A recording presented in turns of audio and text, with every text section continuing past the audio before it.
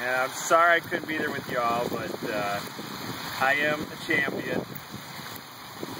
And I really wanted to kind of share my story with you and the excitement of being part of this now Vi family and to be up on stage and have everybody kind of be just screaming and hollering. I've never ever in my life looked out and saw 12,000 people with cameras flashing in the excitement of my transformation.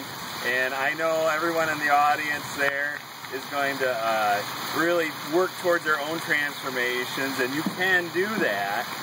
I'm living proof that it's possible, and you know, it, it really is. You know, my story 180 pounds ago, I was a different person. I struggled getting up. I struggled just doing anything on a daily basis. I was looking towards possibly doing uh, surgery. Well, you know, surgery is not a permanent option because people die on the operating table. You know, it's a lifestyle, it's a, it's a healthy choice. And that's what you have to decide to do, make those healthy choices. Well, with Visalus, you know, they provide you the tools. That's what it's about. It's having the tools and then using those tools and believing you can succeed. Because once you believe, you will succeed. And that's what it's all about. And you challenge yourself every 90 days. You keep pushing and pushing.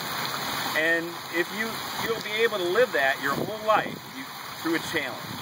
So my advice to you is really take a hard look at your life, where you're going, and make a decision. Are you ready to transform yourself? Are you ready to go? Are you ready to join me in Vi Nation? So, uh, sorry I couldn't be there again, but I'm sure I'm going to be seeing you on stage next year at Vitality. Peace out.